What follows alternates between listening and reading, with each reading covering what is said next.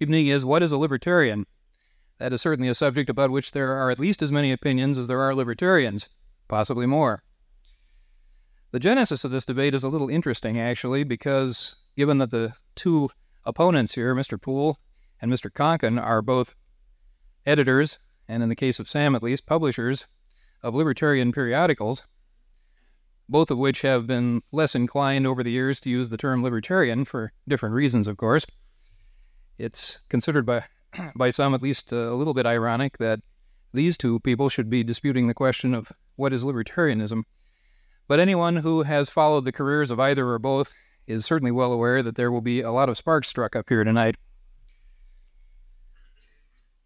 In fact, for those of you, and I suppose there are very few, who are not familiar with either or both of these gentlemen, I would like to get them to at least stand up before they come up here to make their formal presentation so you can see who the combatants are tonight.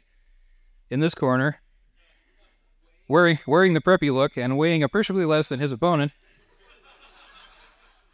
Robert Poole of the Reason Foundation and Points North.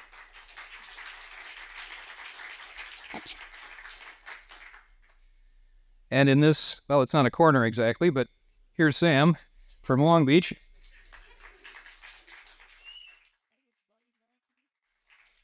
Weighing slightly less than the battleship New Jersey, which is fortunate because he's being encroached upon by the Navy, so I'm told. So all of you are clear on who the combatants are. It's simply necessary to get them up here now and to inform you a little bit more about who they are. Bob Poole, of course, is the head of the Reason Foundation in Santa Barbara and the editor in chief of Reason Magazine. He's also the editor of a number of Reason Foundation books, the most recent of which is Unnatural Monopolies from Lexington Press, available very soon for $25. Now, Bob is one of those people who has been criticized by some over the years for his considerable enthusiasm for what other people regard as half measures. On the subject of half measures, opinions can certainly differ, but I heard an interesting story. I think it's interesting anyway, but it's also a little bit indelicate. And Bob certainly would never tell it, being the gentleman that he is, even if he knew the story in the first place. So, of course, that job falls to yours truly. It seems that an experiment was conducted in which an engineer and a mathematician were dumped naked into a room which contained two white lines painted on the floor, at the far ends of which were two very attractive naked women. And they were informed that when a bell rang, they could, if they wished, go half the distance to the woman on their side of the room. Well, the bell rang, and the mathematician, of course, stood exactly where he started because he knew he'd never get there. The engineer, on the other hand, stepped right out and right up to the halfway point because he knew that while he would never quite get there, he would get close enough for practical purposes. It is my pleasure to present Mr. Practical Purposes himself, Bob Poole.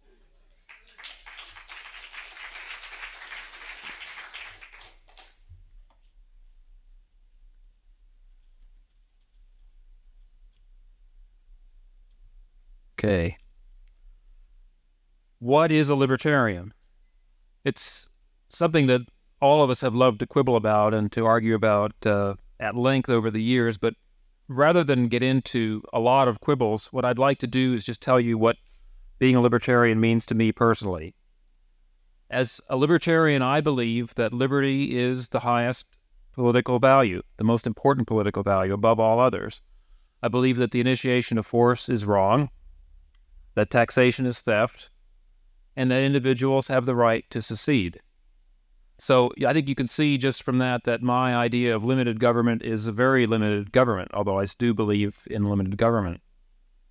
But I, in thinking about what to do tonight, uh, I concluded that this debate really isn't or shouldn't be about details of, of the definition of an ideology, but really rather about once one is decided one is a libertarian, what do you do with that? What do you do about being a libertarian in the world that we live in today?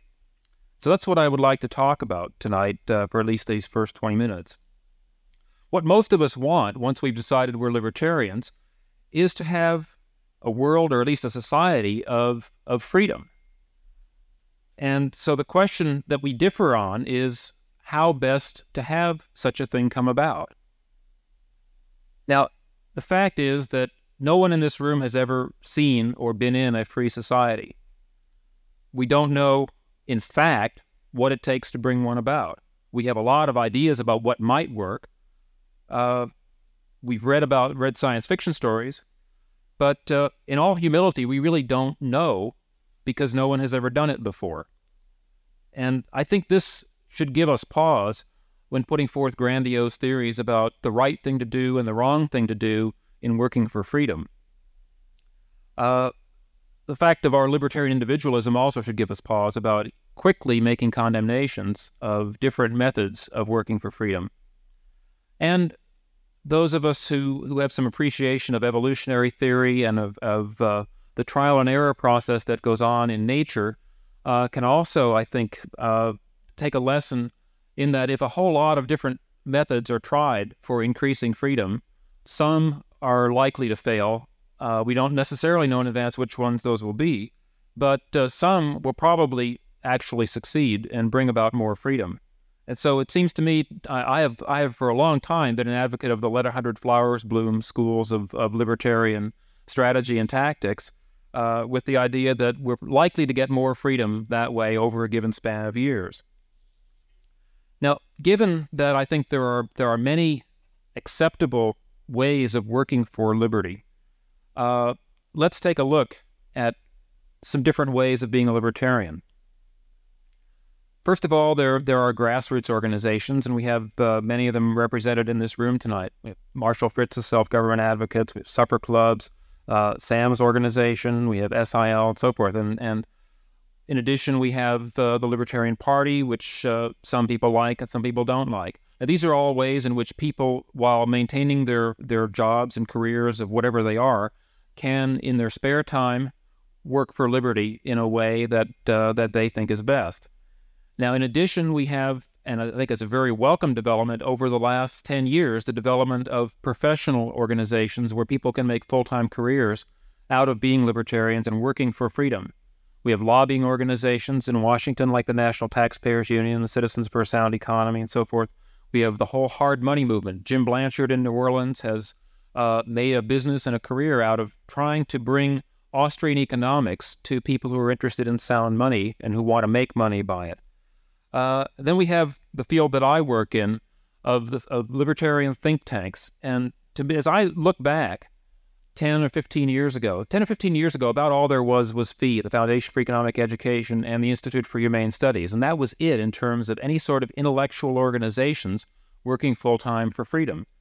Today, we have uh, about a dozen in this country, uh, all growing in size and growing in effectiveness. Uh, of course, the Reason Foundation, the Cato Institute, World Research Incorporated, which is represented here tonight, the Manhattan Institute, the Pacific Institute, the National Center for Policy Analysis. The list goes on and on. Not only that, there are organizations like this springing up all over the world in England, France, Germany, Austria, Sweden, Norway, South Africa, even Brazil and Guatemala have libertarian think tanks now. Sometimes there are only two or three people, but they're out there studying what's go what is going wrong, what statism is doing to the particular society that they're in, and coming up with practical ways of getting people who are not libertarians to take ideas seriously and to take freedom seriously. And these groups are having a real impact in a short time. Those of you who read the April issue of Reason uh, and read the cover story about Ciskei, this homeland uh, surrounded by South Africa, may appreciate some of the work that Leon Louw's free market Foundation in Johannesburg is doing in turning a, a backward backwater uh, into a place where real freedom seems to be coming about and where the lives of, of hundreds of thousands of people are, in fact, getting much better because freedom is being put into practice in a way that no one ever thought was possible. In addition, there is a growing and a, and a rapidly growing over the last 10 or 15 years community of free market economists throughout the world that uh, are linked together by a group called the Mont Pelerin Society, uh, which a few people in this room belong to, uh, started by Ludwig von Mises and F.A. Hayek and Milton Friedman, uh, that has now developed a support network all around the world of professors and graduate students and young students and recommending each other for jobs and even recommending people for, heaven forbid, government posts in a few cases, but people who feel they can do something practical to, to remove burdens to get rid of regulatory agencies and do this sort of thing. This is happening, and it's happening increasingly in this country, in England, and in several other countries. And finally, we have journalists who've been influenced by libertarian ideas and who are now writing for mainstream publications. For the Chicago Tribune, like Steve Chapman, the Wall Street Journal, where, where two Southern California libertarians are now essentially running the op ed columns of the Wall Street Journal. Uh, people like David Brudnoy, who's the most popular talk show host in all of New England. Uh, our generation is is getting out into professions of communication and uh, bringing the message of liberty to millions of people every day of the week all across the United States. Now, has all of this had any real effect over the last 10 or 15 years? Well, I think as I look back at the time that I've been professionally active, uh, I see tremendous changes. We've had a movement to deregulate transportation in this country that has gone most of the way toward restoring free markets in airlines, in busing, buses, interstate buses, truck lines, uh, communications, although there's some problems with the Bell system breakup. In fact, competition rather than monopoly is coming to be the standard thing in all of, of telecommunications. Uh, we've had a, a very large and growing movement of privatization at the state and local level that has opened up markets, that has uh, ended monopolies and led to private enterprise getting extensively involved in delivering things that were, for many, many years, for, for decades, considered to be the exclusive province of government. We have movements now actively working to control government spending, to limit taxation. Now, sure, these are not abolishing taxation, but they're they're throwing fear into those who heretofore had thought that they had an unlimited license to take our money, take and dictate our lives, uh, and do things with them. And those sorts of, of movements with us with serious effects, like Prop 13 in California, just did not exist 15 years ago. In the area of antitrust, the Austrian message that I learned 20 years ago that uh, the, the radical analysis of antitrust that said that that uh, this is ridiculous, that that this does not uh, promote competition, it interferes with the marketplace, this viewpoint, which a handful of people held 20 years ago, is now entering into the mainstream of the economics world. And all sorts of people, even liberal economists like Lester Thurow, are criticizing antitrust now for, for making U.S. companies unable to compete in world markets whose industries are not hampered by this sort of thing. The whole idea of central planning is being is much more under attack now than it was even 10 years ago in this country and in the area of third world development. The welfare state itself is coming under serious, sustained intellectual attack, most recently, and, in about the most radical form by Charles Murray with his book that, that has become must reading for anyone who's seriously interested in these ideas. And there have been other people like Thomas Sowell and Walter Williams who have pointed out the devastating effects of welfare on, on black people in this country. So I think it's it's fair to say that the growth of an intellectual community in this country and around the world that has been developing and nurturing libertarian ideas and working out specific proposals through the network of libertarian think tanks has had a measurable, real effect on increasing the amount of freedom in this country uh, over the last decade. And from the signs that I see uh, as someone in one of these think tanks, uh, that process seems likely to accelerate as time goes on. I think we may be reaching a critical mass of of uh, professional people working on studies showing the harmful effects of government, uh, conveying those in the form of op-ed pieces, in the form of television documentaries, in the form of uh, books, articles, and so forth, uh, of a kind and a quality that we just did not see even 10 years ago, let alone 20. There are even effects, uh, all the things I've talked about have been basically economics so far. But if you look at areas like education, uh, homeschooling is something that people are starting to seriously talk about, uh, not just on the right, but on the left as well. Uh, this is an issue that's starting to be framed in terms of individual rights versus the state and versus coercion by the state. Uh, Dirk Pearson and Sandy Shaw, I think, uh, brought a message of individual control of people's lives when it comes to medication to a mass market with their very popular book, Life Extension, and its sequel. And uh, these are the kinds of things that over time start changing people's minds, changing people's ideas, making them more aware of the consequences of an oppressive, large scale government, start bringing them to the idea that individual freedom really is practical and can be applied to their own lives. In the area of defense and foreign policy, uh, we we saw Milton Friedman and a handful of others who are really more libertarian than conservative work about uh, 12 years ago to get rid of the draft. Now, it's true that, that draft registration is back, uh, but I think the intellectual case uh, against conscription per se has still uh, been made and uh, has held out against those who would like to restore the draft. They've gotten only as far as registration. And I don't think it's it's not at all a foregone conclusion that we're going to see a return of the draft anytime soon. In the area of uh, the involvement of the United States as an interfering force around the world, in particular the involvement of taxpayers' money in supporting the defense of Europe and Japan, we're seeing now the signs that that the consensus in favor of that idea is about is starting to crumble. I know of, of three or four books by serious scholars that are being written right now that undermine that. The pages of the Wall Street Journal over the last four years have had probably a dozen articles challenging the whole idea of NATO and of U.S. taxpayer support for that. And I think it's going to be not more than a year or two until some leading political figures start deciding that this is an issue that the American people are ready for. Uh, and that is another libertarian idea that will then become into the popular political currency and, and we have a strong chance of getting enacted. Finally, let me just say a few words about uh, what I see as, as the best opportunity facing libertarians uh, in terms of where do we go to market our ideas. Some of you may be familiar with a recent Cato Institute book uh, by people, political scientists from Florida named Maddox and Lilie. The book looked at the baby boom generation and uh, looked at uh, the attitudes that are held by people, basically our generation, people born after World War II.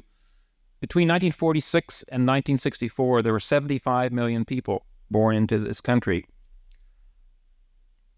The views of the baby boom generation in broad political terms, were described by all the political pollsters and commentators in the 1984 election campaign as being economically conservative and socially liberal. What that amounts to in practical terms is a rough cut definition of libertarianism. It's not a fully worked out definition by any means, of course, uh, but it's raw material waiting to be shaped, waiting to be reached by our ideas. Uh, in the 1988 election, those 75 million baby boom people will be the largest group. They'll be 66% of the electorate by that year. And so, what that tells me is that uh, we have the ideas that can reach those people. They are, in fact, our generation. Uh, more than their parents' generation, their ideas were shaped not by the Great Depression of World War II, they were shaped by the Vietnam War and Watergate. They have a basic distrust of government. Uh, their way of looking at uh, is that 15? That can't quite be right. I have not talked only five minutes. Okay. Uh, their basic way of looking at the world is along the lines of ours. All they need to do is have the implications drawn out and made clear to them uh, by focused libertarian doctrine. Uh, I think many of us are used to because because people of an older generation have controlled the news media for so long. Uh, we're used to thinking that the world is always going to be controlled by a sort of a, a recycled version of the New Deal philosophy. And uh, once, as as we see the people of our generation come to maturity and come to get into positions of of influence uh, into the prime of their careers, it's going to be a whole different set of conditions that have shaped their way of looking at the world. And I think that, that really makes it ripe for libertarian ideas. The baby boomers are anti big government, anti uh, big business, and anti union. Uh, that's fertile fields for us folks. Uh, they generally are pro individual, pro technology, pro entrepreneurship. Entrepreneurship has become uh, a good thing these days uh, for the first time in a long time. And I think that offers us again many, many opportunities. Culture heroes who are entrepreneurs uh, are the kind of thing that, that we can promote and that uh, the people of, of an earlier generation had forgotten all about. So I think that uh, the time is ripe for libertarians to have a major impact on the American culture, not by by trying to set themselves apart as a small radical group, but by reaching out and communicating to what is becoming the large vocal group of our own generation, namely the baby boomers. Uh, that way, I think, lies the best hope for a large expansion of freedom in our time. Not by being, not by self styling ourselves as outsiders, but by recognizing that there's an incipient majority waiting for our ideas if we learn how to communicate them effectively. Thank you.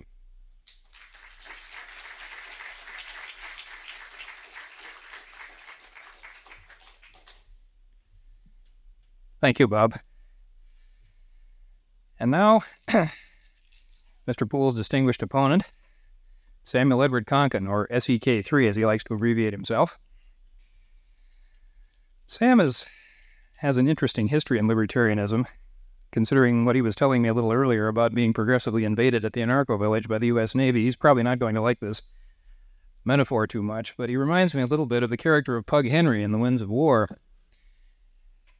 This was a gentleman who, in a work of fiction to be sure, seemed to have an uncanny knack for being where important things were going on at any given point. Sometimes he was front and center. Sometimes he was metaphorically waving from the back of the convertible, but he was there. And Sam, I think, if one was to trace his history and activities over the last 17 or 18 years of what we can refer to as the modern libertarian epoch, has a somewhat similar history. He's been around.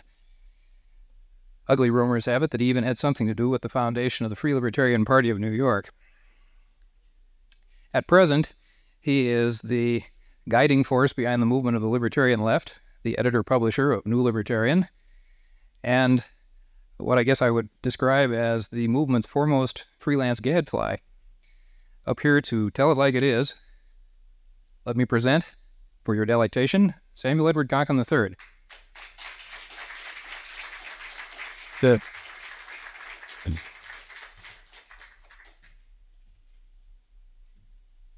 Well, thanks and laissez-faire. I, uh, as usual, get get the strange, stranger introductions, but uh, stranger people here. Bob, Bob, I think I should start off with explaining why there's a debate, since it really didn't, I think, come across from the first two speakers. And indeed, it was uh, a result from a conspiracy of Dagny and myself. Uh, although, as usual, as most of these conspiracies, uh, for those of you who are conspiracy buffs can uh, tell, it generally happens when people sit around, have a couple beers, and say, "Well, what if we did this?" And I don't know, maybe that'll happen. And uh, pretty soon, uh, like like Adam Smith's merchants, we fix prices. In this case, it was um, a uh, something I'd noted, a peculiar symmetry, which I perhaps because of uh, like Bob Poole, I have a scientific background. I was a uh, quantum mechanic. If you had a quantum, I'd fix it. You know, yeah, crawl underneath, get greasy from the quarks. You know anyway, uh, it occurred to me that he and I, in, in a very symmetrical but antithetical sense, have, have evolved in, in, a, in away from uh, the word. At the same time, we were berating him for, uh, or actually just after I'd noticed he was uh, uh fading out from using the term libertarian in his paper.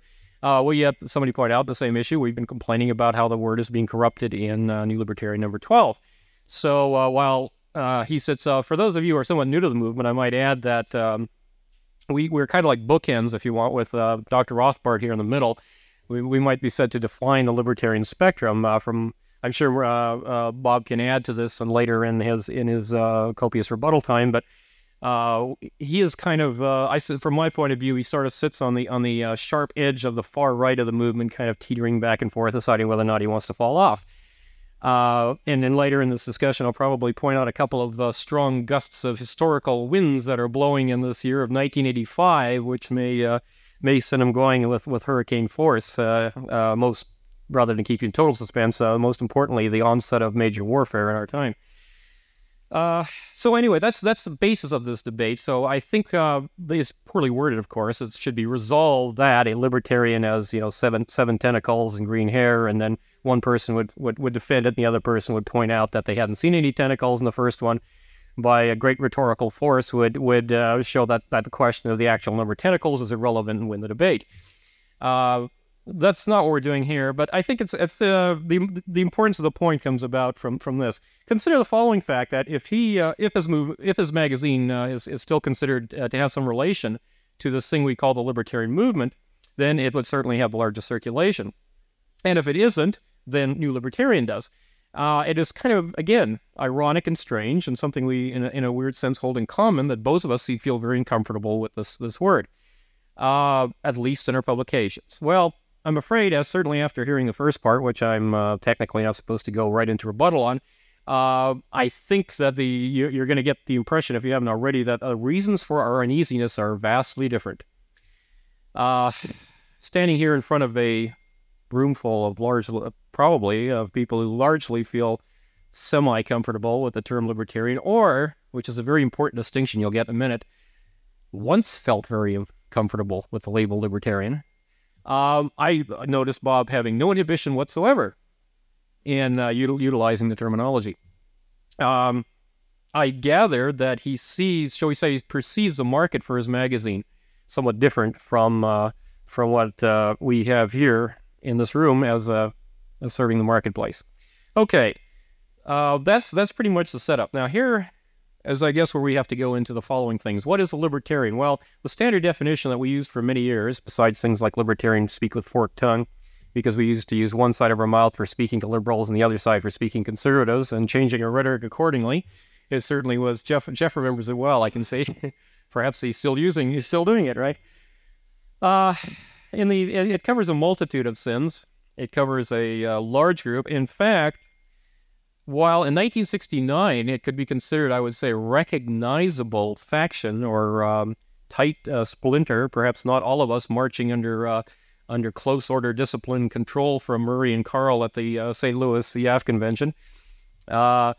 Uh, I would say that it, it, was considered something something solid, something unified, something homogeneous to a, to a certain extent. It wasn't true then. It wasn't true in 1969, but it appeared that way at least. And certainly to those of us who were just getting into it, which I think Bob and I were both fall, fell over the brink into libertarianism about the same time, whether or not we both fall from our different directions out of it. Uh, this is recognizably no longer the case. In fact, uh, since he, he was so kind to spend 20 minutes building up the case for me, I would like to point out that most of what he pointed out, or what he was listing there, is a strong indication of part of the problem that we, and I'm going to use the word now, agorists, uh, find with the term libertarian. Uh, you know, when we run across uh, Murray and Carl back in the uh, in the beginning, in the beginning to be September '69. If uh, Sharon Presley is here, she can bring up 1964 a little later. But uh, in the meantime, and of course, Murray can always bring up 1950 when he invented it, uh, the movement directly. So, uh, but for most of us, for large numbers, population, market forces, we're talking about here, and uh, that's that's part of the definition. It started in in around 1969. There was a feeling of radicalness, of pureness, of hardcoreness, of let's go out and get them. Now, the definition, as I said at one point, was uh, anything you wanted. Um, by 1971, as a matter of fact, uh, the term um, semi cynically was there are two definitions, two standard definitions of libertarian, regardless of all of the Randian rhetoric or all the other rhetoric you hear. The first definition of libertarian is anybody who calls himself one. Definition number two, anybody who agrees with me. Now, you'll notice that each of these serve totally different functions when you want to go tell the world how uh, how hardcore you are, or how many people you are, I mean, and uh, that you're a massive force, and of course in the 69, 71, in the post-New Left period, we were worried about masses. Uh, inertia didn't bother us, but mass did for the scientists here. Uh, so we worried about large, getting these large numbers, these masses together, and uh, so therefore, anybody ever used the word libertarian, we'd hug to our breasts. I was mentioning to somebody a few an hour ago that uh, when Edith Efron used the word, the L, the big L word, in T and TV Guide, the biggest circulation magazine in the English language, we immediately cheered. If we were here, we were real, we existed. Our word was was now appearing in, in uh, TV Guide. About a year later, the editor said, um, "Well, you know, we're not all conservatives here. We give other sides equal time. You know, liberal so and so and libertarian Edith Efron." So now we were a third force. I mean, our poor nothing was going to stop us. We were going bigger and bigger. Okay. The other definition was, of course, every time we have a disagreement with each other. And whenever there is a conflict or a disagreement, we have the, the second formula comes into play. Anybody agrees with me. Anybody who doesn't, obviously not a libertarian. There's something else. Uh, we either read them out of the movement or we put hyphens in front of them and, and, and, and a secondary effect. Now, both of these functions have their purpose. And uh, it's part of the problem of politics, or including anti politics and reaching people in general, of selling concepts that we want to have both of these things on our side. We want massiveness, we want large numbers, we want uh, uh, attract people who want to be groupies, you know, and so forth to build up a group. But on the same side, we also want to be pure. We want to be hardcore. We want to have something there. As uh, one of the comic strip characters once said, looking down into uh, what was supposed to be the depths of somebody's soul, there's no there there. And uh, if libertarianism goes in all the way towards purely definition one, then what is it? Let's say we won, okay? Everybody in the world now call himself libertarian. Mao Zedong or his successor Deng Xiaoping or whoever was called himself libertarian. You know, this has already begun to happen in California. We I can show cases where Ronald Reagan called himself a libertarian. Jerry Brown called himself a libertarian. Um, you know, I mean, we've gotten presidents uh, um, who have now the, the, the L word in their past. And, and, and how far are we going to go? So everybody calls themselves a libertarian. So definition one is, is fulfilled. We have libertarian fascists, libertarian uh, communists, you know, libertarian uh, mass executioners, libertarian, you know, Mansonites or whatever, libertarian pacifists, and and uh, so we've won, right? Libertarian is now everywhere, and the word is accepted, and no problem, right? Libertarian government garbage collectors, uh, uh whatever, libertarian, uh, and of course the the ultimate nightmare, which I've described in a few pamphlets for those few of you who don't remember it, the the idea of a libertarian working his way through the system, who arrests one of us counter economists, one of us people actually go and break laws and things because we don't believe in the government. And uh, he takes us in front of a libertarian who works his way through the system as a judge. And he takes us in front of a libertarian, you know, he sentences us, and a libertarian working his way through the bail takes us to the jail, where a libertarian working his way through the system as a turnkey uh, holds us prisoner until eventually the libertarian working his way through the system as the court uh, or the prison uh, priest brings us up to the, uh, the, the electric chair, where a libertarian working his way through the system as a state technician is making sure it's in good working order, and uh, libertarian working his way through the system as a burly guard slaps us down in the chair, and another libertarian working his way through the system as an executioner throws a switch and and uh, wipes out the, the one person who's in fact a libertarian not working his way through the system. This is therefore, I think, the distinction that I'm trying to draw. Now, Bob probably made a few good points. I thought, um, even in uh, as visibly as I was trying to write them down, uh, on the poss- the problems of what happens if you try perhaps to go too far the other way, if there's another way, in the sense of uh, a purity of uh, of ideology uh, so distilled that only one person can hold it, and he's not sure about himself. You know, the ultimate schizophrenia. Who shall watch the watcher? Obviously, you you know bisect the lobes and uh, get a, a, severe case of a split personality so you can uh, guard, guard, yourself of, of, of purity. Uh, even even not going that far, there is a problem of maintaining the uh, the body pure, the body pol- politic, or in this case, the body anti-politic, to a great degree of purity. Um, uh, esteemed and uh, extremely good friend Dr. Rothbard here, who I uh, uh, could not praise enough for, for his accomplishments, tends to attract uh, people, probably attracted by his purity to him, and um, they then form groups and call labels and and have an amazing record, a truly entertaining record of, of schism and and splitting ever, ever more thereafter. I have recorded much of, of those conversations in my uh, in my journals, and uh, without them, the entertainment content of New Libertarian would have suffered greatly. Uh, I don't think it's entirely. Uh, I, in fact, I wouldn't say at this point I'm not, not to be a libertarian pope myself and, and grant absolutions here, but it is it is not so much Murray's fault at all that this kind of thing happens, I think there's a basis involved in the whole concept, the idea concept, and methods of maintaining it. Uh, the purity that Murray fights for is valuable and uh, is, is is absolutely essential because regardless of whatever else happens and and, uh, and wherever else people wander on the spectrum, at least he's making sure there's a there there. But that if if he wins, much as we dis- disagree with him on on uh, certain strategic issues, at least I do, we know that if Murray wins, there's some there there. Now, I happen to think that if, if, if quote, he won, uh, Murray would, would be rounded up by the very person that he helped get into the Libertarian Party uh, FBI directorship, would probably come around and pick him up within a day. And uh, I don't think he entirely disagrees with me, since I'm sure he had Ed Crane on the list about 10 years ago, uh, back, back when Ed was a good guy, right? So it's it's it's it's an endemic problem. And okay, so we we've kind of defined here a large spectrum of things. What do we want? Well, I think we want purity. But but the problem is we're going to have a lot of disagreement about that. There's no uh, no uh, way around that. I think, however, that the third method that some of the people, and I'm going to only mention them in passing uh, for those of you who want to check it out more, ask me about Libertarian Connection. Uh, neither Bob or I are into them at the moment, so it's not a big issue. But there are simply there are a lot of people who take a position of total live and let live, and say, well, all ideologies, or as uh, Bob once said, probably not meaning uh, quite what I'm saying here, let a hundred flowers bloom, implying that all libertarian roads lead equally to the result that we want. Okay, this is also not true. Some people are simply wrong, and it's worth pointing it out. Uh, if, as I made, I made the uh, the long uh, description about libertarians working their way through the system to accomplish certain ends, and uh, ending up essentially executing the few people who are not working within the system and achieving some libertarianism in real life. Well, that is clearly a wrong road that those uh, working in the system people took. Okay, there are many of those cases, and they, they, they deserve to be pointed out. They should be pointed out. And probably for the rebuttal time and most of the rest of this debate, I will um, uh, be in that position of doing so. I would like everyone to remember, especially in the question period, right before you totally gang bang up on me uh, for uh, doing what, what I may have accused, seen, appeared to accuse others of doing. In the second page, or on the third now, we've, we've grown, in New Libertarian magazine, I have carried a slogan which is mutated slightly for grammatical reasons, but essentially always said something to the effect of everybody appearing in this publication disagrees.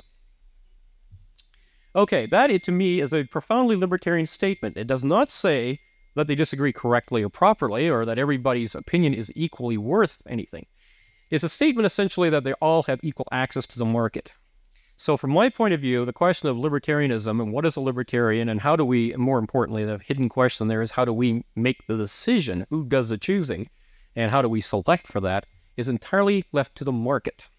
I get up and say it. I got an editorial page. Other people come and print in my uh, magazine. I actively seek people who I think uh, will outrage some of the readers and, and I think are totally and utterly wrong and some cases that they don't they don't get a chance to uh, appear at all. But in fact, that is the answer. I, I believe in purity as, as, as at least as much as Murray does, and uh, I'm sure several other people here. But on no circumstances should the mechanism of it leave what we believe is, is basic. The marketplace itself. The market decides. Let the market decide is, is a great libertarian slogan. It's our if one the one thing close to unanimous agreement we have on anything that deals to do with human action. Let the market decide. Okay, now, one last caveat on that, of course, is let the market decide should not mean let's sit back and let the market decide. The market is a sum of individual action. Those individuals are entrepreneurs. Uh, Murray and I have disagreed a little bit about whether or not entrepreneurs are born or made. Uh, if they are indeed born, which I don't agree, I'm sure genetic reengineering could could help us considerably on that. But uh, uh, I think they're made in one sense or another, or they could be made the rest of the way the entrepreneurial component of each individual, remembering from our Mises that we are all workers, entrepreneurs, and and capitalists to some extent in varying degrees, uh, can be can be emphasized, can be um, grown. And in a sense, there's always an entrepreneurial component of all of our lives, unless we become total dependents, total robots. That always exists, and and um, to some or greater or lesser degree. Okay, having said all this, having put all those caveats down, having uh, shown hopefully with great forcefulness, and you can walk into the literature table anytime and see uh, uh, a great variety on our table alone. I think I've finally come to the point where I am now ready to um, be properly understood when I choose to solidly and thoroughly disagree with almost everything the previous speaker said. The problem is he has appealed to and given us a long list of what appear to be libertarian contributions. Let me offer a competing system, a competing way of looking at things, shall we say, of, of viewing things, which perhaps make these wonderful uh, gains um, put them in a little more sinister light. Suppose, in fact, we take the, the position that libertarianism does have something to do with liberty, does in fact mean that we're for liberty, and we take the insight from Dr. Rothbard and many others that the liberty itself is, is antithetical to an institution known as a state. Now, it's not necessarily the case, it doesn't have to be the case, that only the state trembles upon liberty. Uh, we can we can imagine or we can perceive several other such entities uh, existing around us. But we do know two things from any empirical study whatsoever. One is that the state is the enemy; it is the largest one that exists in this time, and that we are likely to see for quite a while, and it dwarfs all others uh, massively. This is the threat. Okay, if this is the threat to liberty and the state is pure coercion, it has no function of, of defending liberties whatsoever, and this again is a position that most libertarians hold, then we must ask ourselves the following thing: if certain uh, agents of this entity, whether or not directly internally within its in the belly of the beast, its actual tentacles, or its support mechanisms, its uh, foundations and institutes, which of course it supports and nurtures carefully through a system of uh, tax deductions, carefully selected, uh, suddenly begin to pick up certain minor things in rhetoric uh, that we've associated with libertarianism, does not our suspicion arouse? If our enemy starts using some of our terms or starts uh, attempting to appear in our guise. For example, say libertarians wore um, all wore um, uh, green bow ties, except uh, well, even the females. What the hell? We're unisexual now.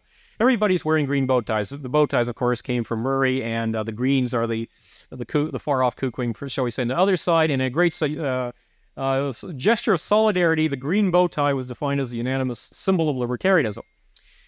Well, the next day we uh, we suddenly find a few government officials start wearing green uh, green bow ties, and and and uh, when they come, maybe an IRS agent knocks on the door, and we see one wearing a green bow tie, our guard is lowered a bit. Maybe, uh, well, geez, this guy's wearing the libertarian symbol. Maybe he's not such a bad IRS agent. And when we're sitting there smoking our dope, and the the axe comes through, crashing through the door, and they come kicking in and run in, and uh, you know, oh wait a minute, one of the guys who's busily throwing the handcuffs on us and slamming against the walls wearing a green bow tie. Things have improved we are now, you know, it's a little more. They're libertarian darks, you know. They're they're not so bad. We're we're the system's getting a lot better. And uh, then we get dragged up, and uh, hey, we're probably going to get a good sentence this time. The judge is wearing a green bow tie. No sweat. He only gave us 20 years. We know, of course, if somebody wasn't wearing the green bow tie would have given us 35 or 40 or whatever, maybe kind of shot in sight. So we're obviously better off under the regime of the green bow tie. Okay, what has happened, of course, has happened. What I'm talking about is no fantasy. The use of, of the corruption of political labels is a historic fact since the day the first political label arose. Any of you who have had the barest history of political science, of, of any political history, know that the words liberal, the word Whig, the word Whig originally meant horse thief, interesting enough, which is much hard, more hardcore from a libertarian point of view than what they eventually became. But the, the Whigs, the liberals, what, what does liberalism mean now? I mean, some of you know that it meant something not too far from uh, Mr. Poole's uh, esteemed position, and in fact it was pretty good for its time. Anyway, uh, I'm going to be about to be cut off in time, and I think uh, that a lot of what I was going to say is probably much more um, uh, appropriate to the uh, rebuttal time. Uh, let me close on one thing. Whatever Mr. Poole chooses to do, I have a feeling that he and many of his friends and ilk are going to come to some hard problems of reality. The battle for symbolism, the battle for rhetoric, the battle for ideas. That's a, that's a touchy thing because ideas can both mean superficial statements and a rhetoric of fact, and they can also mean people like Richard Weaver say acting on them. Okay. I would say that if you watch this debate for, further on, watch out for the action. We can't go into great details about our various actions in the next 10 seconds, but watch for the action.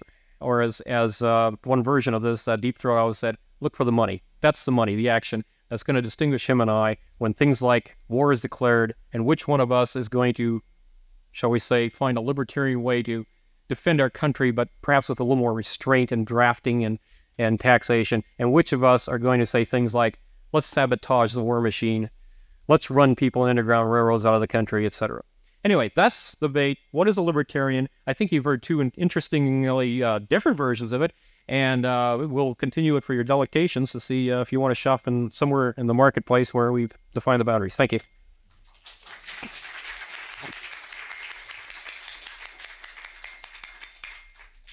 Thank you, Sam. Well, Bob, your five minutes.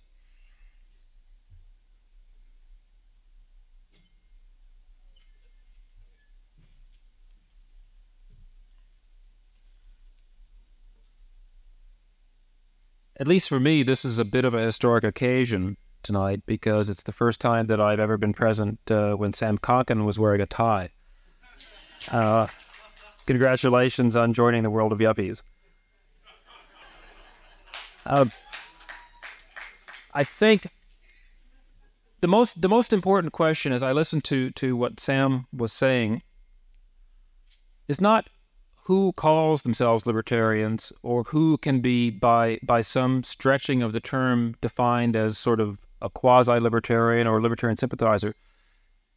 The litmus test is really how much has freedom been increased or decreased by what someone's actions uh, produce. That's really the ultimate test. Uh, it's it's fine to, to have people say that they're that they're libertarians or libertarian sympathizers. Uh, that's not the point. The point is, is there more freedom or is there less freedom from the or or no change from what this particular person or institution has done? I mentioned very briefly before the example of, of Leon Louw and the Free Market Foundation in South Africa. There is a man who is, in fact, an anarchist libertarian, longstanding, a lawyer by profession, who has, for the last two or three years, worked for a government under contract, being paid by a government, in order to develop things like a basic law allowing people who had never, who had been deprived of any right to own property ever historically, all of a sudden to be able to become property owners and to homestead land that used to be government land, who has authored legislation that at one stroke wiped out thousands of regulations and controls so that people can start businesses freely, uh, who has authored legislation that abolished all the hated apartheid laws that were bequeathed to this little homeland of Ciskei by South Africa. Now, that is a liber- to my mind, that is a libertarian who is being effective in the world of making real freedom happen for real live human beings. Now, I can't to claim that that I or many other libertarians in the think tank community in this country have accomplished that much freedom in that short a time, have made that kind of a difference, a fundamental difference in people's lives. However, the work of libertarian and free market think tanks in this country has played a real part in, in in increasing economic freedom in this country in the last 10 to 15 years through such measures as promoting privatization of things that were formerly government monopolies, in which today thousands of entrepreneurs are free to go into business in fields that used to be closed to them. In the deregulation of transportation at the local level in places like San Diego and Seattle and the entire state of Arizona and the entire state of Florida, which, because of the influence of free market and libertarian economists and policy studies people, have now been opened up entirely to competition and entrepreneurship. I think theorists are vital. Uh, we need theorists, we need purists. Uh, we need people to keep us on the straight and narrow, to keep us tied to our principles. But we also need people who can take the next step of trying to apply these ideas in ways that have a chance of actually succeeding and being put into practice. And I think it gets in the way of making these kinds of, of difficult real world steps to, to come up with an all embracing concept like the state as the absolute enemy that one can never have anything to do with. Because, in fact, sometimes some people who can do it need to get in there and take hold of things that they can then dismantle. Uh, an example of someone who is not a libertarian by my definition, but who's a sympathizer, is someone like Mark Fowler, who heads the Federal Communications Commission, who has opened up cable television, who has opened up telephone service, who's opened up the satellite business to competition, and who today is leading a strong campaign to abolish the fairness doctrine and, uh, and end censorship in the broadcast media. Now, that's somebody who's in there. Uh, I don't think I could do that. I, I would not want to work for the government uh, in that kind of a position, even accomplishing or attempting to accomplish the kind of things he's doing. But I'm glad someone like that is in there. And I think that, that people like that, when they're trying to accomplish ends like that, ought to be supported and not viewed as class enemies to be liquidated. I mean, I think we need to make more sophisticated distinctions than I think Sam wants to make about where allies may be for actually increasing freedom uh, for real people in realistic spans of time and, and not just deal with things in abstractions uh, that that have absolute black and white, good and evil, and and no no shades of gray possible because shades of gray are real and they really exist. I think that'll do.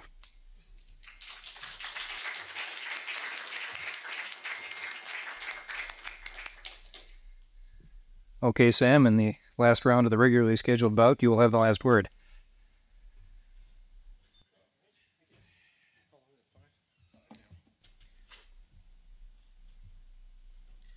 Thank you. Um, actually, uh, for fairness, I might add that uh, the original debate rules were, of course, to have positive, negative, negative, positive, so that Bob should have the last word. But since we're having question periods, I probably, eh, or at least uh, those who feel favorable to him, can figure out ways to ask questions in which he can get his last word. I certainly expected to have the same privilege if I'd had word the other way. Um, there's actually a tremendous amount of specifics I would love to disagree with um, Bob on here. Uh, much of them go very deeply into require a fairly deep uh, roots digging here concerning uh, why we disagree the way we do. Bob, uh, as far as I can tell, I'm sure he's evolved in certain things. We have we have all sorts of similarities. It's really instructive how we just well we evolve since we're both big science fiction fans. I uh, sort of semi discovered J- uh, John J. Pierce, who ran a section inside New Libertarian for a while. Um, dropped out when we were at Weekly, and Bob uh, picked him up and ran him as a columnist. So we have a certain amount of uh, background in science and science fiction and so forth. And yet, uh, and, and at one time, perhaps in the uh, 60s, we may have been roughly in the same position. It is no longer the case. Um, I don't really see him, except now he, now that he's quoting Mao Zedong and letting a hundred flowers bloom, which might be a sudden lurch to the left. I'll have to note in future future editorials. Uh, or, of course, from my point of view, since Mao Zedong would be far right the other way. But I really haven't seen, uh, and all due apologies, uh, perhaps again due to my position on the spectrum, uh, that much change in Bob's position in the last uh, 15 odd years. I think the rest of the movement, and here again we get into shady problems of definitions. Uh, perhaps if there's one point where I agree with him about shades of gray, it is in describing a distribution curve or distribution graph of the libertarian movement because we do tend to stretch and shade out as we move along. Some people move faster than others. I think there's a lot of, perhaps in fact, we're talking about two different libertarian movements. This is also goes back to what is a libertarian and what are we using the terms as. And to put it bluntly, I consider what Bob Poole is doing is uh, becoming more and more like our uh, uh, not so friendly uh, economist Milton Friedman, an efficiency expert for the state. And uh, I mean this in the following way: that every the state itself to exist cannot simply be totally rapacious on all grounds and all times and so forth. Uh, grab, grab, grab, confiscate, confiscate, steal, murder, etc. There's a certain amount of restraint required for it to maintain its mystique that it is serving some useful function to us. if it if it was constantly murdering and raping and plundering and so forth, it would it would have to uh, restrain itself. Uh, it even gave up raping um, a whole century ago uh, when it demolished Droit de Seigneur, at least in that form. The plundering has probably increased tremendously since uh, taxation used to be 10%, but um, after hundreds of years of classical liberalism and uh, gradualism that uh, some people have accused Bob of advocating, we now have 50% taxation in the enlightened, more classically liberal parts of the world. So uh, perhaps there is a flaw in following this, uh, in explaining to the state how, by restraining their appetite in certain uh, very uh, and well-chosen areas, we can make them more efficient and last longer. Maybe that's not what we want to do. Maybe we, in fact, want to get people out the state. Uh, Ciskei is an interesting question, and it, it's kind of weird because it almost reverses us here. Uh, Ciskei, of course, is, is, is a totally unrecognized uh, pariah of the world. Uh, you would think that'd be almost enough for it to um, to gain some sort of uh, uh, friend, you know, friendliness from libertarians, since we've all felt as outsiders. And yet, uh, Bob was warning us not to not to identify with outsiders and so forth. Well, Ciskei, of course, is is is a sham to a large extent. It's got a kind of a perhaps free market in, um, action and within certain limited areas of the market. But in fact, it is a uh, large concentration camp for black people so that they won't uh, mix around and threaten the uh, ill-gotten, non-property owned territory in South Africa proper, land which was stolen by plunder and theft, and who much, much of the original owners remain there to counterclaim it. Um, therefore, I find Ciskei in the larger arena to uh, to be anything but something a libertarian can find any value in. And having it recognized as a state, since I don't believe in states as many libertarians do, is hardly something for us to um, to leap forward to. I'm beginning to run out of time, I noticed, and I did want to hit the following two two quickies here. Uh, uh, Bob brought up the um, the baby boom generation for what reason I don't know, except that uh, he makes certain claims about their politics, which is ridiculous. Uh, you are part of the baby boom generation, as am I, and by talking around to said people, I found a great lack of unanimity on politics uh, approaching that of the libertarian movement. Uh, there may be certain uh, averages appearing here and there in, in transitory passing, but frankly, I don't see it. Uh, there's a certain small segment of that baby boom generation I find particularly odious, called yuppies, which you might have run across my cover. Their, their, their distinguishing characteristic is that they've given up their ideals. That is what the term means, regardless of what marketing agents are busily trying to launder it up to mean today.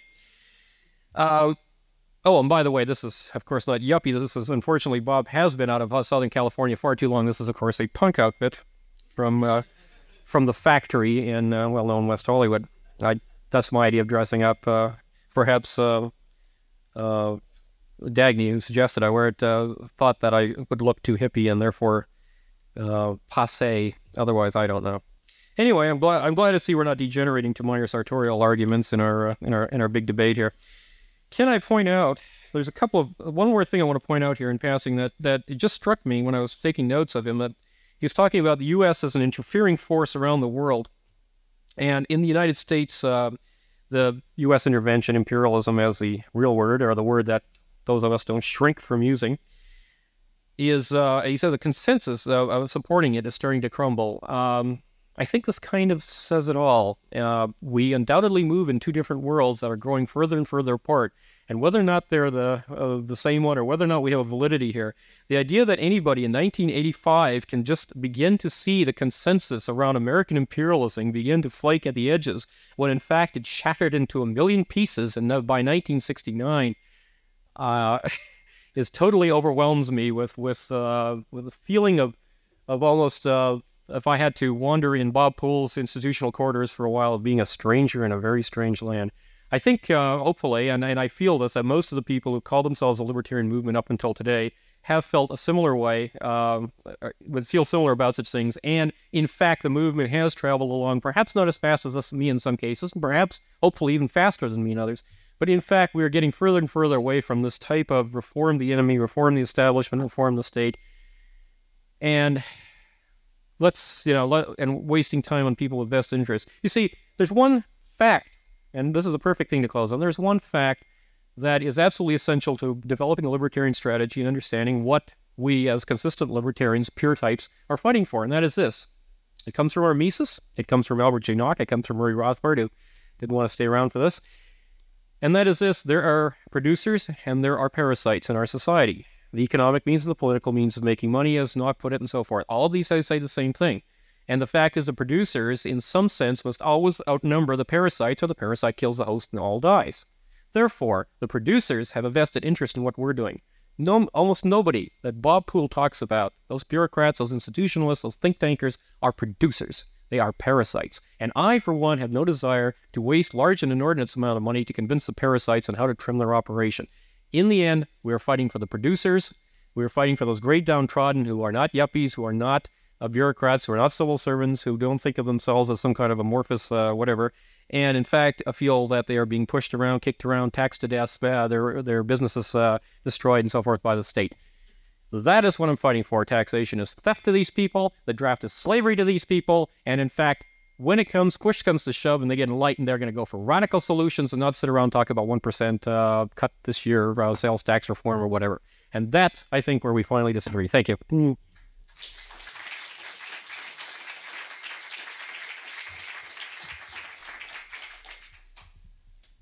I'd like to ask both of our debaters to come up here and sit in what I'm sure are very hot seats by this time, having been under the lights for the entire time.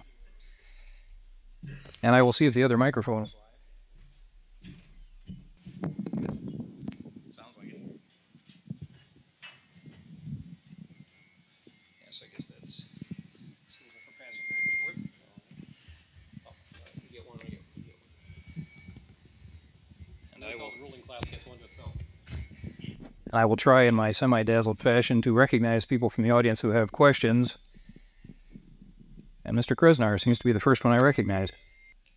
The question that uh, John asked, uh, I'm going to repeat these questions for the benefit of the people who want to buy tapes of this session and wish something resembling completeness.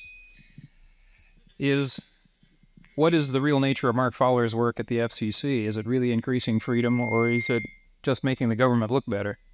And directed to Bob. Right.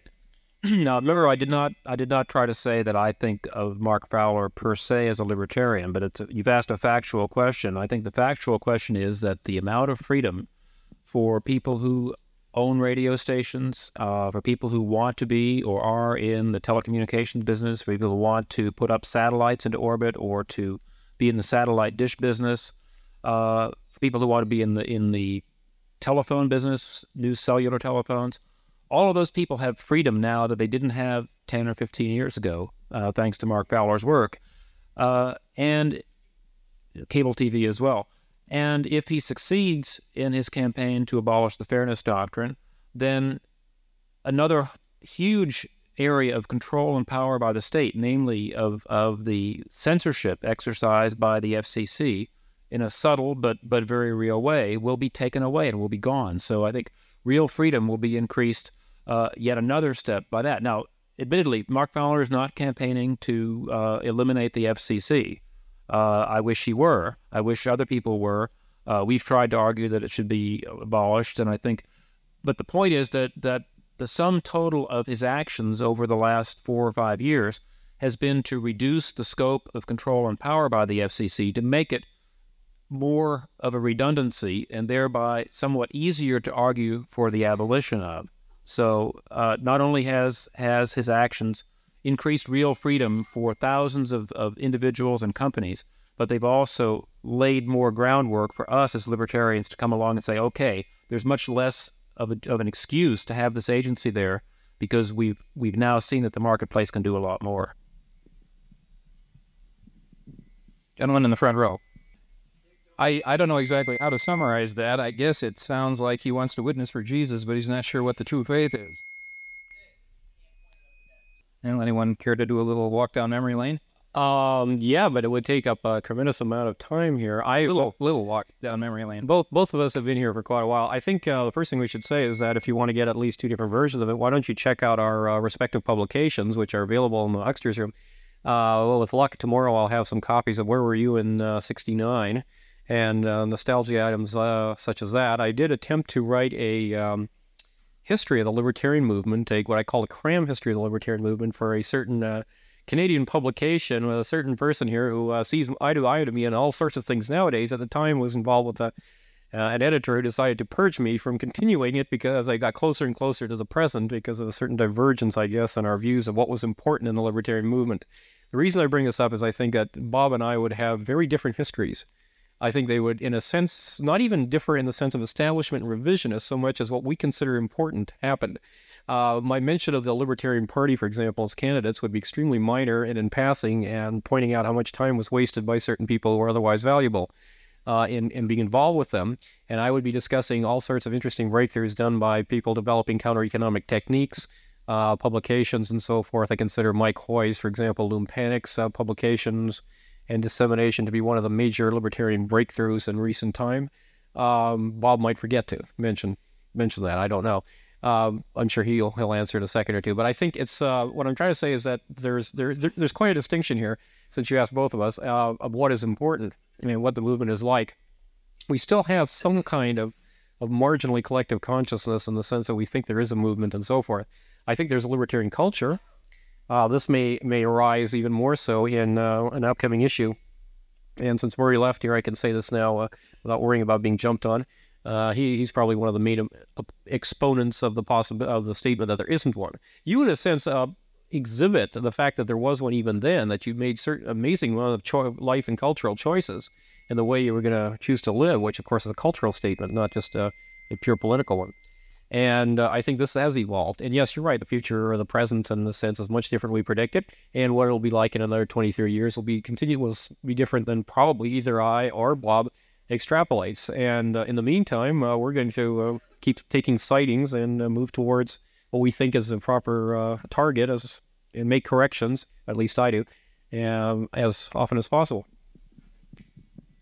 Just very briefly, my impression is that it's it's that most libertarians these days are not living essentially dropped out or trying to be anonymous, but are, are living active public lives of trying to uh, convey libertarian ideas to other people, to to educate by by talking with friends and neighbors, by writing letters to the editor, by writing articles and trying to get them published, and doing things of this sort while maintaining active uh, professional careers. It's always it's obviously hard to know how many libertarians there are who who have purposely made themselves invisible. That's a very diff- difficult thing to measure, obviously. So there may well be many people who followed the path that, that you've outlined uh, that I'm not aware of and that, that even Sam is not aware of. simply because of the measurement problem. But but there are thousands of, of active libertarians in all sorts of organizations uh, and simply as individuals who subscribe to publications who are very concerned about educating other people uh, and spreading libertarian ideas to try to, to increase support for a free society. It just occurred to me because uh, Bob just stimulated something in what he said. Uh, you're also making a state uh, a assumption, which Bob kind of let you get uh, carried along with here, and that uh, the choices either cutting everything off, dropping out, remaining you know sort of uh, sub subterranean or underground, versus being uh, working within the system, playing the game to a large extent, making all sorts of compromises or whatever, being active. In fact, that is not the choice. as as I and, and several of the people who hang around me can attest, I break every law in the world. I'm a, I'm a, I'm a walking lawbreaker and uh, publicly tell everybody about it every time I get. I don't pay dime in taxes. Uh, I uh, am, you know, a legal alien who has, has, gotten away with it for a decade with no sweat. And I get up in front of large uh, audiences of uh, people, which are selected, yes, but selected because they're libertarian. And even if they're not counter economists, whatever problems I may have with Bob, I would obviously feel morally inhibited, uh, at least as of until today, of turning me in. I don't know what it'll feel like tomorrow.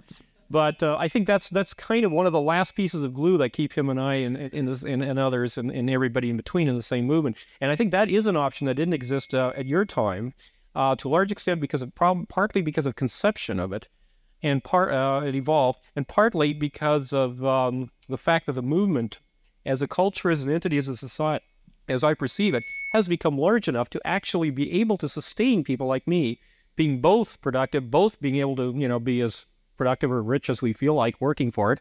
I don't happen to feel like working for it as much as some do.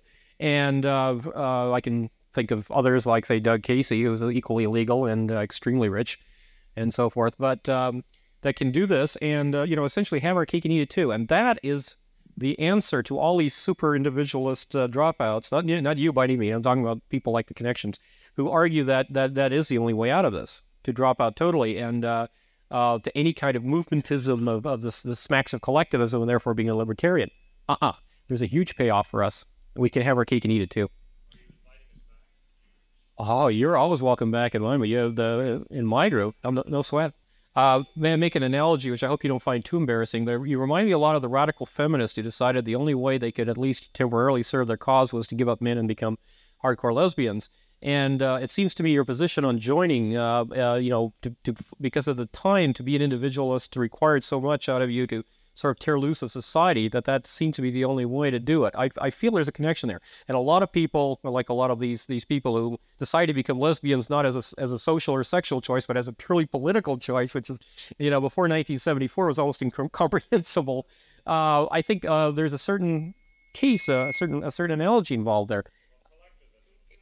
Yes, I think. Yeah, yeah. and uh, I, th- I, think it would be reasonable to take a few more questions here. Jeff, think you had your hand up first way back when, during our fall start. Jeff asked Sam whether he would consider the transition from a state which conscripts people to a state which does not conscript people to be forward progress. I guess would be a good phrase. Well, for those of you into uh, sciences and chemistry, I consider those degenerate states. So my answer is essentially there is no fundamental difference. Anybody who doesn't want to be conscripted can uh, join me anytime in uh, in the great counter economy and thumb their nose at the state. Right now, uh, several what forty percent or something of the draft uh, registration eligible youths have decided they'd rather live in a society in which the state uh, is not successfully conscripting or registering people to be conscripted, and they're living it right now, regardless of the state's wishes. That to me is an important is is what what in fact we want. The transition state from a state that has one position, official position on conscription, versus a state that has another official position on conscription, really doesn't uh, attract me as any way to devote energy to have it jump over that that energy barrier from one to the other. So my answer is, if you want it down to the line, is it's not worth the effort to change from one to the other. The answer is to get out of a system which has a state. Okay, I'll, I'll answer it uh, in, in a larger sense here because I think we're, we're, we're moving more and more from the political now, I think, towards the individual choice issue.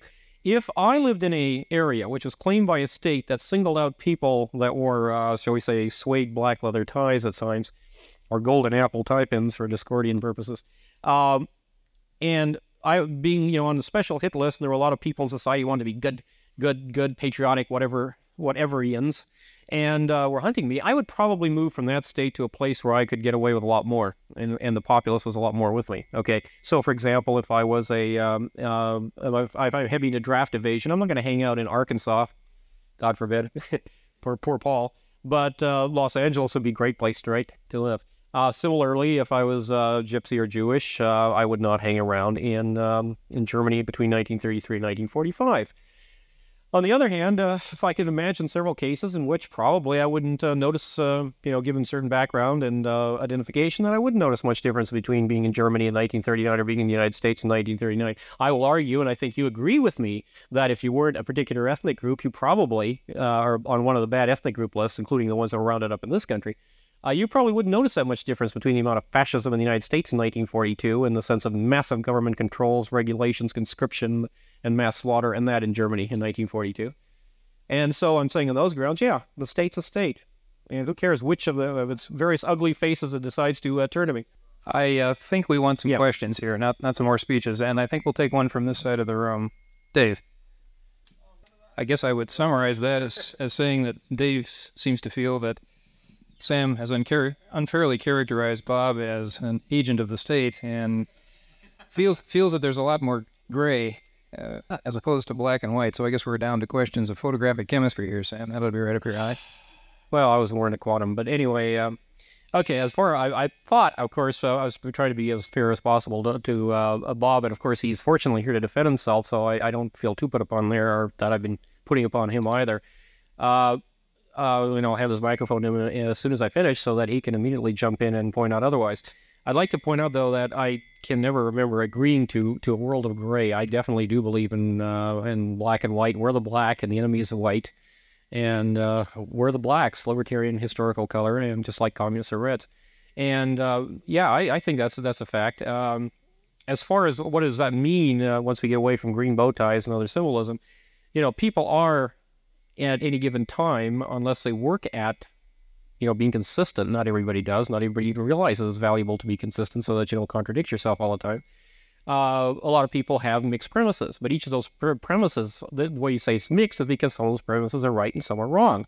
Sometimes they apply them some of the time sometimes they uh, other time. That doesn't mean that doesn't mean gray in the sense uh, that at least a lot of people needed it. If you want to say a speckled uh, color appears from a distance fine.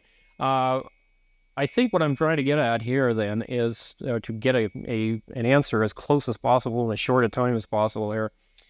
Yeah, I think the libertarians or anybody else, when they're dealing with a problem, have to separate out the elements which solve the problem and the elements which uh, don't. I hate to sound like a utilitarian since I do believe in natural law and I do believe in natural rights and all the rest of those wonderful uh, but atheistic moral codes. Um, they're all there, and um, I think the rhetoric uh, that's involved with that is useful, if nothing else, to generate some emotions, which we ought to have at times too. Uh, that's that covers a lot of it uh, of what you were asking.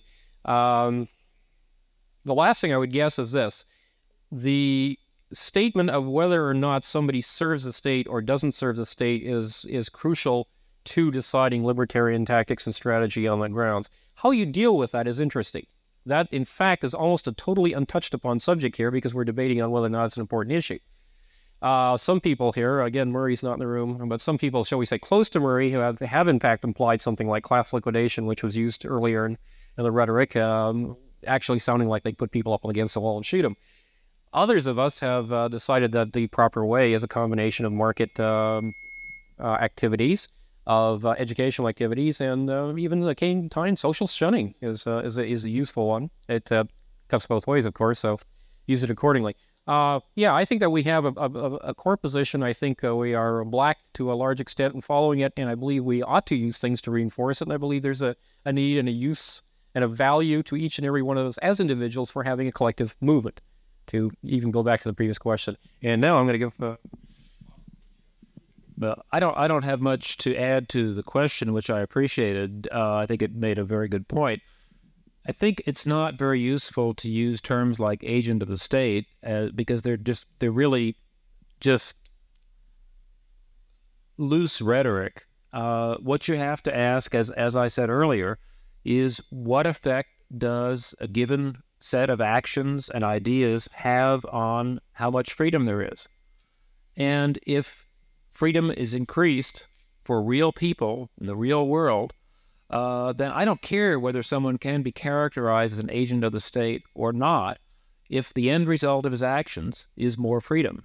Uh, some people there are dirty jobs to do, and some people are willing to do them, and others others aren't.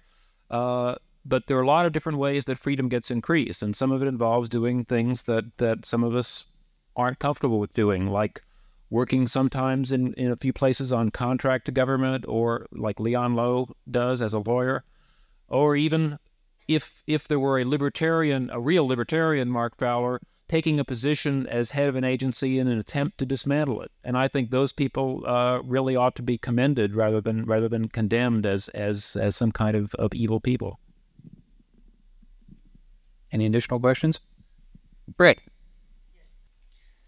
Fred wants the two debaters to return to the original subject, spoils board, and and define just what a libertarian is.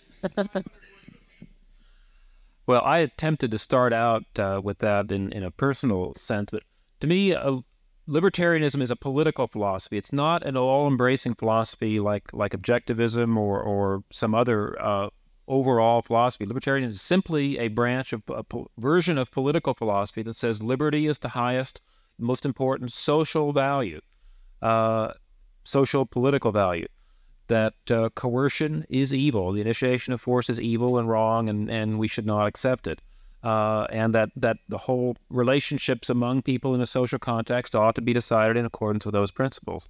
Now, the differences come in all sorts of implications of what does that imply about the arrangements for solving problems that occur when you try to be consistent with those ideas. And Sam and I obviously differ on what we think it takes to put those ideas into practice right? I believe you said define this time libertarianism as opposed to libertarian.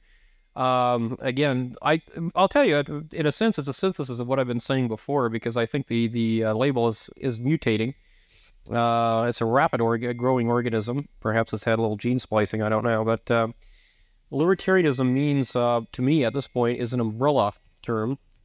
It has to be if uh, if uh, Bob and I and Dick are standing up here or sitting up here. Uh, so it must be a pretty wide umbrella with a large, uh, large covering area and to keep us from the state. And the question is, is that more useful than not? I think uh, we really get down to it. Um, at times, Bob obviously doesn't find it useful. He decides not to use the label at all, and uh, I think I, I, think I understand his reasons. They're, they're um, they fit with pretty much the philosophies outlined here to accomplish certain ends. It doesn't. It's better for him not to wear a label. Fine. I find the uncomfortableness going in the other way because uh, part of the time it fulfills what I remember way back to the definition one and definition two. Libertarianism is, I think, moving towards the, the point of definition one, which is simply all inclusive of all these people who simply uh, prof- profess liberty. And unfortunately, you know, FDR professed liberty, except that he also wanted a big welfare uh, safety net. And uh, Lyndon Johnson professed to love liberty as his highest value, except for, of course, a massive intervention of people himself, you know, and so forth.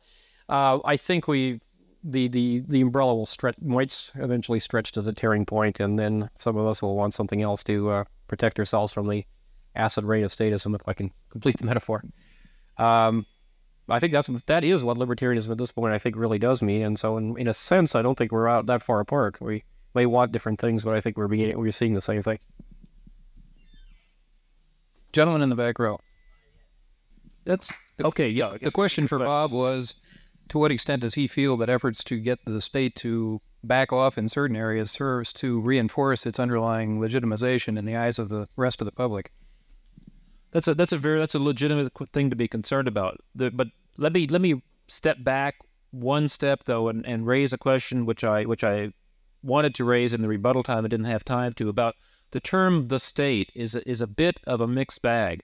Uh, if if you're not an anarchist libertarian, okay, uh, and I'm not, and many libertarians are not, if you if you believe that there is a valid concept of limited government, then what we have today that goes by the name of the state is a combination of a small amount of valid functions and a whole mess of coercive things thrown on on top of it, of, of transfers of wealth from some people to another, of interferences with people's lives, and so forth. Uh, so, if what's important to me is to try to separate out things, the vast majority of things that governments today do that I consider to be illegitimate, from the small number of things that governments do that are legitimate. And so delegitimizing government is not something that I want to do. Delegitimizing the state, when seen as Frederick Bastiat described it as a mechanism for having some people get something at the expense of other people, yeah, that I want to do. But I'm not interested in delegitimizing government per se. So, what I'm trying to do is to educate people on all of the wrong things, all the coercive things that I see governments doing, uh, which you could define as the state, and we would agree on, while at the same time not trying to delegitimize the basic concept of a mechanism for protecting people's rights, which I think can legitimately be defined as government. So I have to qualify the answer a bit. Okay, we'll take one more. I'll second that one, I guess. Uh, Michael is asking, what is a limited government, and isn't that a contradiction in terms? I assume he's asking Bob, since I'm perfectly willing to agree with that. Well, it's a subject that could be a, the subject of, of two or three hours worth of discussion tonight. Obviously, uh, uh, limited government is is defined as as a government that whose sole function is protecting people's rights uh, from coercion, uh, which can be coercion from from people at home, uh, normally ca- called criminals, and from aggression from overseas, which is a function that's normally called defense, national defense. And so a government that were voluntarily funded and whose functions were limited to a criminal justice system and national defense would be what I would call limited government. And we've had nothing, we've had things that came close, but we've never had exactly what I would call a true limited government of the kind that I um, am seeking in history. And that concludes our debate. Thank you very much for your kind attention.